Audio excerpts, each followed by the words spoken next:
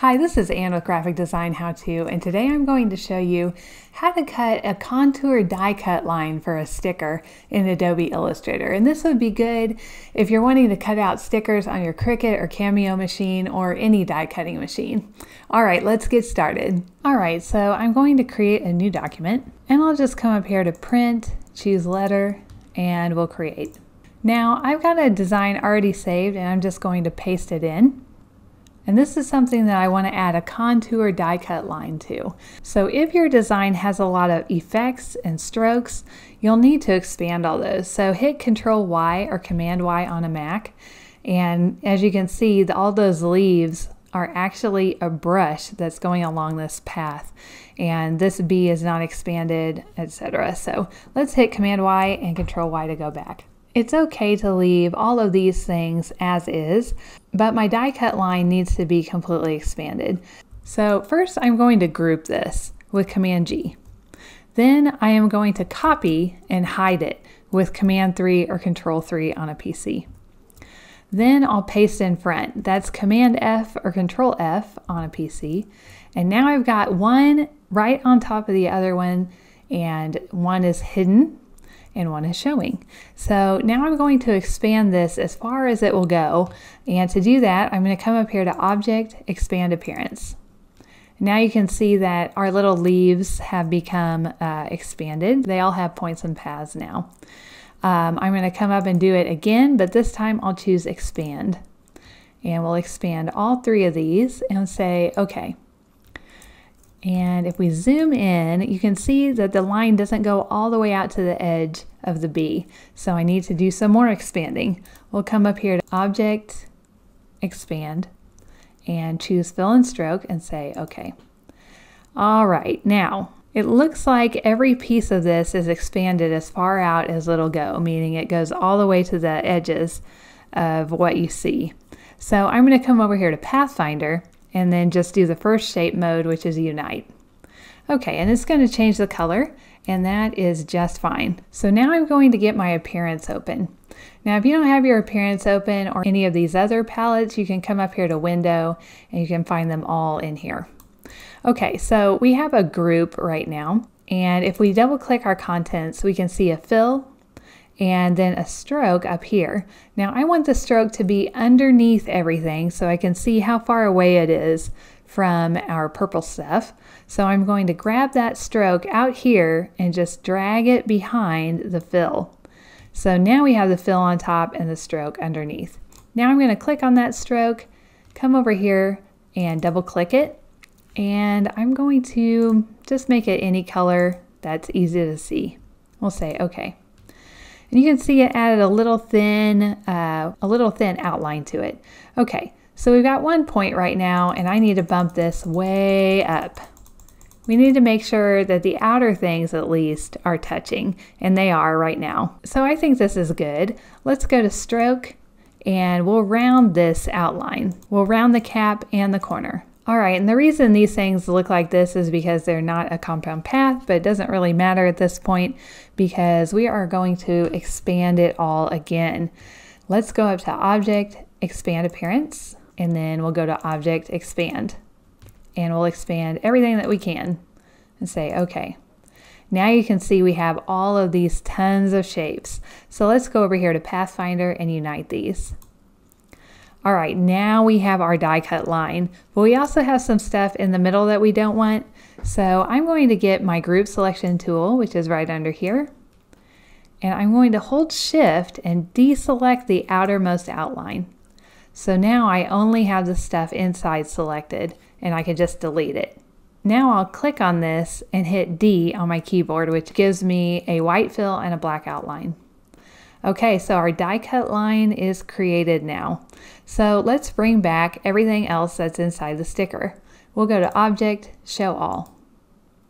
Okay, it's actually there, but it is behind the die cut. So let's bring it to the front with Shift Command right bracket or Shift Control right bracket on a PC.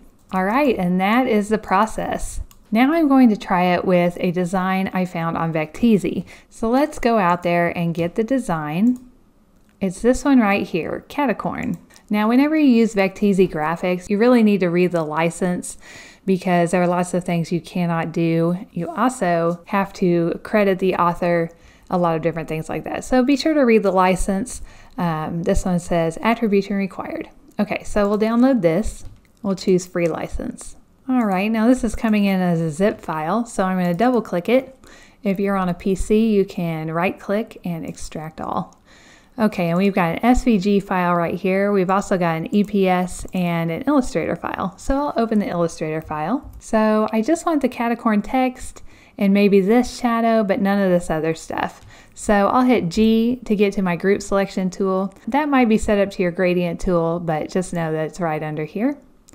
Now I'm going to hit Command Y um, or Control Y on a PC. That'll allow me to see the parts that I want a little easier. I've got my group selection tool right up here. I'm just going to draw a box around the things I definitely want and hide them with Command 3. Then I'll also use that same tool to select everything else and delete it. And then I'll unhide, Option Command 3 or Alt Control 3 on a PC. Okay, and then I can just kind of go through here, hold shift and select the things that are left over. Get rid of that. I do want this word, but I'm going to move it up a little bit and I'll change it to black. And then I'm going to grab that background and delete. Okay, we've got everything that I want for the sticker. I see some extra things that I don't want. Okay, I think I'm just going to delete this too.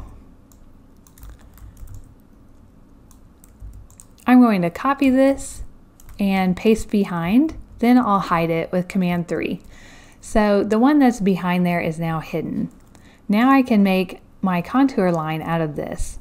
But if you hit Command Y, you'll notice that we have a weird rainbow thing going on here. And that is going to be a problem. We have to get rid of that. So hit Command Y or Control Y again to get back.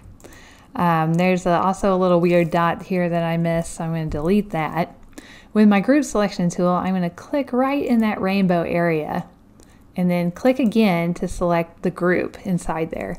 And I'm just going to delete those. This is just going to form the die cut line, so it doesn't really need to be there. Okay, we've got everything selected, and now I'm just going to hit Shift Command O to outline our text. That's Shift Control O on a PC. And then I am going to make sure everything is expanded out. So we can do that with expand and we don't even get any options, so it's ready to go. All right.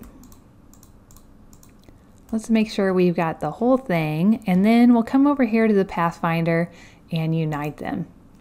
All right, now let's go to Appearance. I'm going to double click on Contents, and then I'll pull the stroke behind the fill like we did before. And now I am going to make that fill maybe a yellow color this time and we will increase the size until those things down here are overlapping.